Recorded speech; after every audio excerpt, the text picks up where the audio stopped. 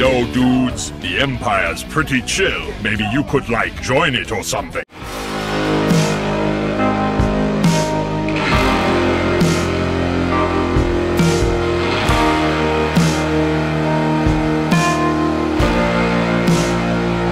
Hey everyone, Lukimus Prime here, so it's time for this week's merchandise showcase. So, in terms of course what I did last week then, so last Saturday I was able to unbox my action figure of Moon Knight from Marvel Legends, definitely a really cool figure of Moon Knight that they've done, which I really enjoyed unboxing last week. Then also last week I also built my Lego set of Bumblebee from G1 Transformers, which was a lot of fun to build. And then today I got several pretty cool things. So for starters, I was able to get two video games. One of them is a PS3 game and it's part of a Marvel franchise I wanted to get into when it comes to its first two games. I've already got this game's second game of this franchise and I was the first game today, of course, which is Marvel Ultimate Alliance. I'll be really keen to check out this game, so so yeah, I got it on PS3 there so I can play it and its sequel. Then I got a game on PS5, which I know has a really big fan base, and and, and I'm thinking, you know what, I might as well get this, you know, to check out one day, of course, and I also got this game because it's made by the company Bandai Namco, which is pretty cool because it's a Japanese company and Japan, Japan's my favourite country nowadays, especially because of video games. And this game, of course, is none other than Elden Ring. I heard this game was really popular when it first came out a couple of years ago, so I thought, you know what, I should probably get into it now, right? So yeah, I got it. This is the Shadow of, of the Erdtree edition of it as well, which includes like expansions. This is an expansion, yeah, so hopefully it'll be good. Then after that, I was able to get three films today on Blu-ray. Uh, two which are just normal Blu-rays, one is a Steelbook. On Blu-ray, first of all, I, I, was able to get a film which which is one of my favourite roles of Ben Affleck of all time, which is The Accountant my opinion, a really good action movie. Really good movie, in my opinion, and real The Accountant. Then I also got another film, which is a film that I actually saw earlier this week, and I definitely really loved and I wanted to get physically. And this film has in my favourite live-action role of Dustin Hoffman of all time, a role that he definitely really did, did deserve his Oscar for as well. And that, of course, is none other than Rain Man. A really amazing film with Dustin Hoffman in alongside Tom Cruise. And he won the Oscar for his, his performance in this, which is incredible. And this film we won four Oscars too, including his Oscar, including Best Picture, which is awesome. Very well deserved. Love Rain Man. Then I got a Blue Steelbook for one of my favourite films of all time by one of the directors ever, which is Quentin Tarantino. This is actually a film which was split into two parts and has one of my favourite female characters in cinematic history of all time.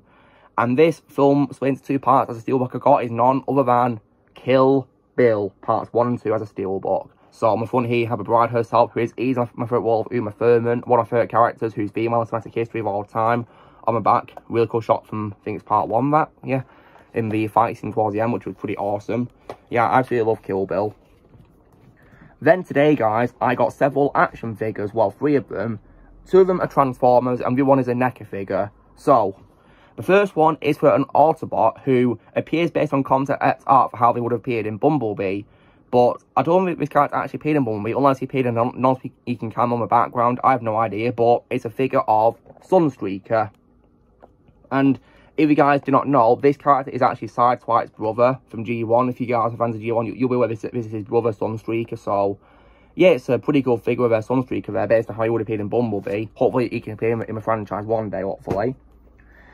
And speaking of Bumblebee, I, I was able to get a figure as well of Bumblebee himself as he appears based on Transformers Animated, which is, in my opinion, an underrated show. And I, and I think Bumblebee was pretty cool on that show, so I got a figure of him. This is a Transformers Legacy United toy line, which is a pretty cool figure of him.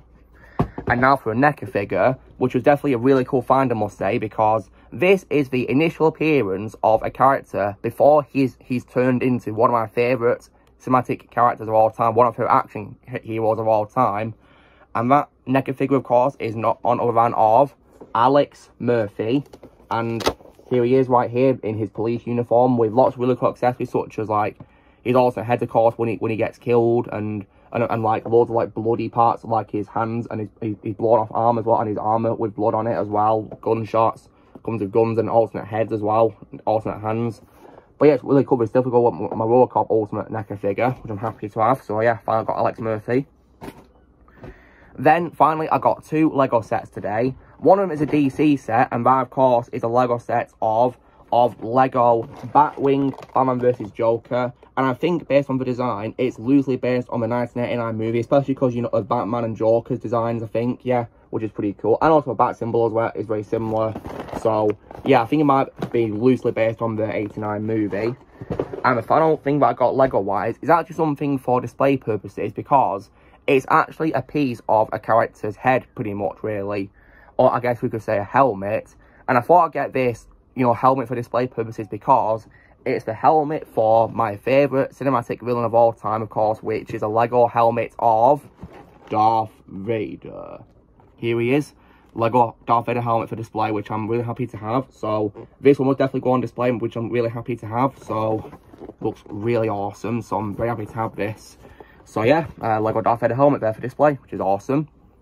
So guys, uh, this, of course was what I got this week, so hope you guys enjoyed that. So, you know the drill, guys. Be sure to give this video a like. Also, be sure to know in the comments what you guys uh, thought of the vlog. What was your favourite thing that I got? Let me know in the comments below what was your favourite. Also, be sure to join team by pressing subscribe and moves to come in the future. And I'll see you all later.